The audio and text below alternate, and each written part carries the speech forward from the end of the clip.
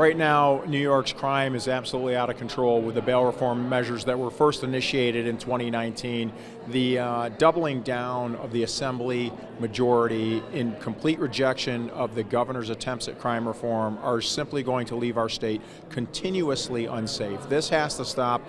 This is why these things should be removed from the budget. These these policy measures that impact all of our public safety should not be part of the budget. And right now, the budget is being held hostage with them. So that's not good for anybody because it could make our budget late.